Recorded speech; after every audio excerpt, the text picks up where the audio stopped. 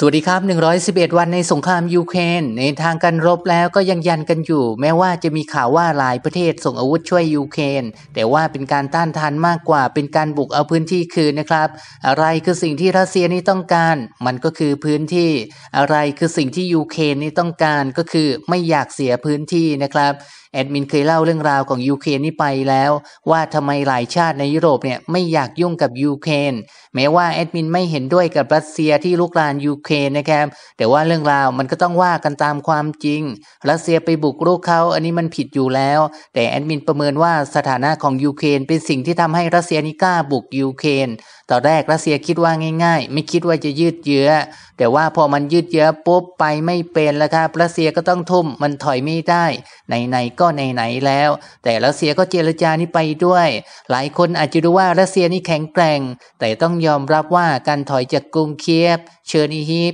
คาร์คีฟอันนี้เป็นการเจรจาด้วยส่วนหนึ่ง ให้รัสเซียเนี่ยมาทางตะวันออก ถ้ารัสเซียมั่นใจในตัวเองจะถอยมาทำไมล่ะครับ 111 วันยึดไม่ได้ มันไม่จบ นั่นคือความจริงที่มันเกิดขึ้น ไม่ต้องแถอะไรทั้งสิ้น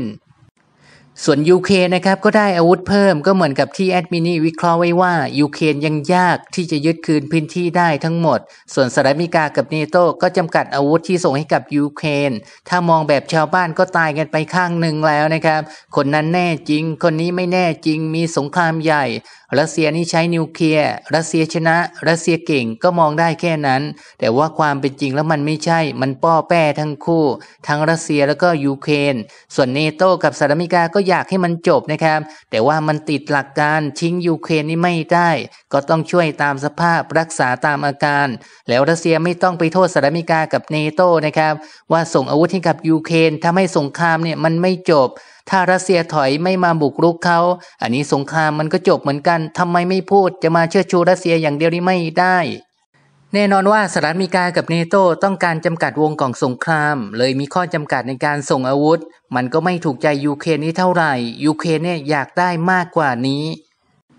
นอกจากอาวุธที่ยูเครนนี่อยากได้แล้วก็ยังมีงบประมาณฟื้นฟูอีกมากมาย ซึ่งปัจจุบันเนี่ยทางสหรัฐอเมริกาก็ช่วยเป็นงบประมาณเงินเดือนทั้งยูเครนนี่อยู่แล้ว งานนี้ดูเหมือนยูเครนต้องการพลิกชีวิตทุกด้าน ในคราวเดียวในวิกฤตในครั้งนี้ ทั้งงบประมาณอาวุธ ขอเข้า EU ขอเข้าเนโตแบบพิเศษด้วยใครไม่ให้ไม่จ่ายไม่ช่วยโดนกดดันประณาม ดูเหมือนว่ามันจะเยอะไปเกินงามในบางครั้ง อันนี้ขอย้ำอีกครั้งว่าแอดมินไม่เข้าข้างรัสเซียนะครับ แต่ว่ากำลังคุยเรื่องยูเครนอยู่แอดมินเคยเล่าเรื่องยูเครนนี้ไปแล้ว ว่าทำไมเนโตกับ EU ไม่ต้องการยูเครนยิ่งยูเครนแสดงออกแบบนี้ ชาติยุโรปก็ไม่อยากช่วย แต่ว่ามันจำใจนะครับ อันนี้พูดตามความเป็นจริงทำไมต้องไปเสียงบประมาณจำนวนมากเพื่อยูเครนด้วย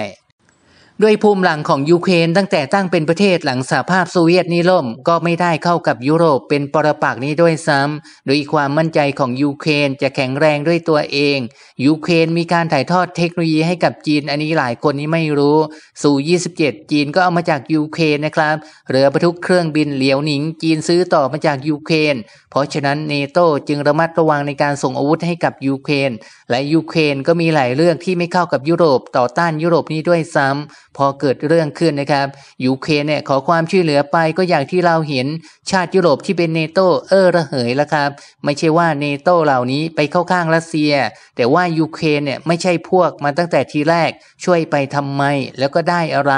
แน่นอนว่ายูเครนต้องชูเรื่องประชาธิปไตยความเสรี ก็เพื่อได้รับความช่วยเหลือ นั่นคือความกังวลนะครับและเรื่องที่เสนอให้ยูเครนเนี่ยยอมเสียดินแดนบางส่วนเพื่อยุติสงครามนี่มันแรงขึ้น เหตุผลก็ไม่มีอะไรมากหรอกครับ ให้เลิกทะเลาะกัน เพราะว่ามันเป็นภาระของคนอื่น ฟังดูอาจจะไม่ยุติธรรมสำหรับยูเครนแต่ว่ามันเป็นแบบนั้นนี่จริง ๆ นะครับ ส่วนเรื่องการคว่ำบาตรรัสเซียอันนี้ก็คว่ำไปประนามไป เผื่อว่ารัสเซียนี่จะคิดได้ ตอนนี้ยูเครนก็คำนวณแล้วว่าอยากได้อะไรบ้าง รถถังหนึ่งพันคัน เครื่องบิน เรือรบเท่าไหร่ก็ว่ากันไป แล้วใครจะจ่ายล่ะ แล้วมันเป็นเรื่องของใครที่ต้องจ่าย ได้ประโยชน์อะไร นั่นจะเป็นคำถามที่ต้องรอคำตอบต่อไปนะครับ